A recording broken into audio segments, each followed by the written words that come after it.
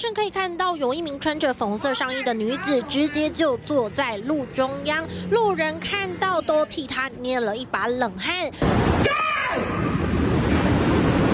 事情就发生在台中中清路上，在九号凌晨两点多，民众报案中清路一段上，这名女子在路中大吼大叫，甚至是躺在路中央，除了影响社区的安宁，更造成了行车危险。我要看好了，你们现在怎么样？警方获报到场呢，这名女子情绪已经恢复平稳，没有突袭行为。他们进一步了解，疑似是这名女子呢心情不好，就在这个槟榔摊前面独自饮酒，之后呢就情绪失控，向有人咆哮，呢还走向槟榔摊前面乱丢东西，大吼大叫，吓坏了路人。